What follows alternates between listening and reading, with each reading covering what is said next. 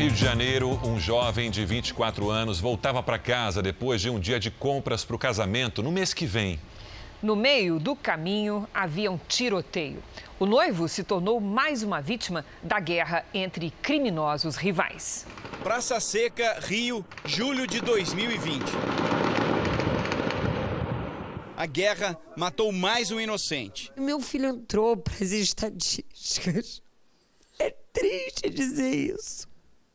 E não há o que console a mãe de Caio de Jesus Barbosa Silva, de 24 anos. Eu não vou dizer para você que eu espero que seja feita justiça, sabe? Eu nem quero saber quem matou meu filho. Prestes a se formar em direito, Caio também era músico. Mas nos últimos dias, a prioridade era outra: o casamento marcado para setembro. Caio voltava para casa depois de mais um dia de preparativos.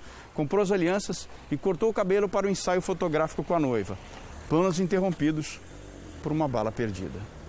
E essa madrugada eu não dormi porque eu não tinha meu irmão para conversar comigo. Foi mais um capítulo de uma disputa de território que se arrasta há anos na zona oeste do Rio. A região da Praça Seca tem quatro comunidades, onde traficantes e milicianos vivem em confronto. Só esse ano foram 25 tiroteios. A última madrugada foi de terror na região.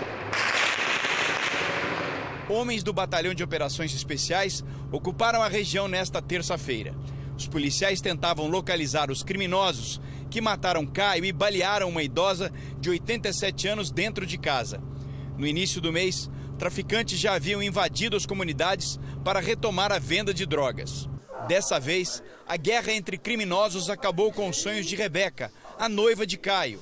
As alianças eram uma surpresa que o jovem tinha preparado para ela. Fazia coisas por mim, ele, me, ele cuidava de mim de uma forma que era inexplicável.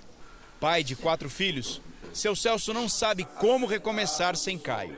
Eu não me via nessa situação aqui gravando uma entrevista para falar que meu filho foi baleado mediante uma violência que a gente não sabe até quando vai, a gente não sabe onde vai parar. O que eu sinto é uma dor insuportável.